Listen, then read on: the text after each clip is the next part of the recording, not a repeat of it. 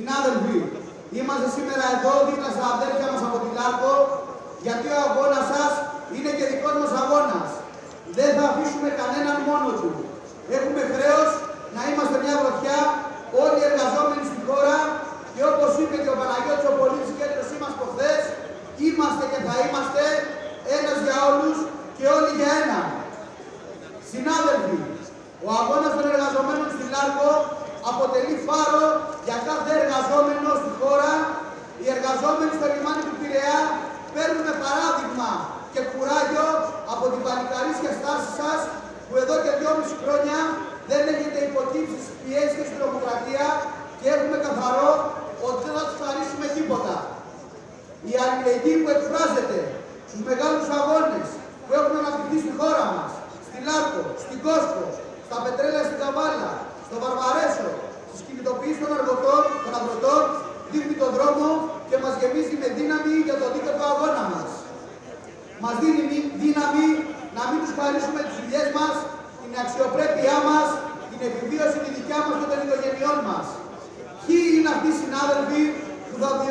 θα διώξουν και θα ξεσπιτώσουν 1.200 ανθρώπους που έδωσαν τα νιάτα τους και τη ζωή τους στην Λάρκο και την κράτησαν όρθια.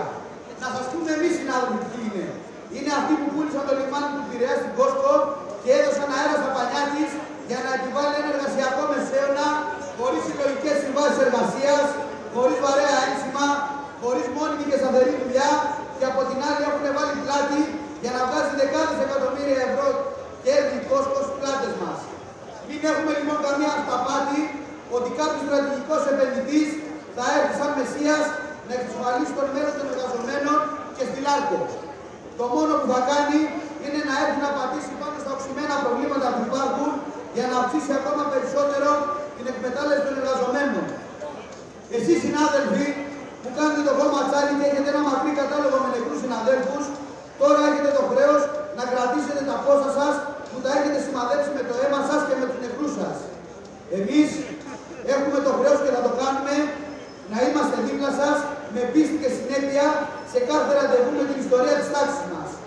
Έχουμε όλοι μαζί όμως το χρέος αυτές τις αιστείες φωτιάς που υπάρχουν να τις μεγαλώσουμε, να τις πολλαπλασιάσουμε για να ζήσουμε πραγματικά στον πόλη μας αξίζει ως δημιουργία όλου αυτού του πλούτου που μας βλέπουν καθημερινά μια χούφτα άνθρωποι.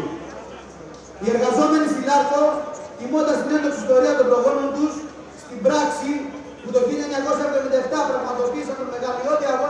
των 110 ημερών κόντρα στην τρομοκρατία, ξέρουν τον δρόμο που πρέπει να ακολουθήσουν. Ξέρουν ότι μόνο μέσα από τη συσπήρωση, την ενότητά τους, την μαζικοποίηση των σωματείων τους και την ελεγγύη που εκφράζει η εργατική τάξη στο σύνολό τους θα νικήσουμε. Η παρακαταθήκη που έχετε δείχνει τον δρόμο και σε εμάς για να κρατάμε αταλάντευτη στάση, για να κερδίσουμε και να μην περιμένουμε κανέναν επενδυτή πότε θα φιλοτιμηθεί να μας πετάξει την καλύτερη ένα ξεροκόμματο την ίδια στιγμή που δεν ξέρουμε θα γυρίσουμε στις οικογένειές μας. Δεν υπάρχει περίπτωση να κερδίσουμε ταυτόχρονα και εργάτες και εργοδότες. Το λέμε εμείς, οι λιμενεργάτες του Κόσκο, που ζήσαμε στο πετσί μας την, περί...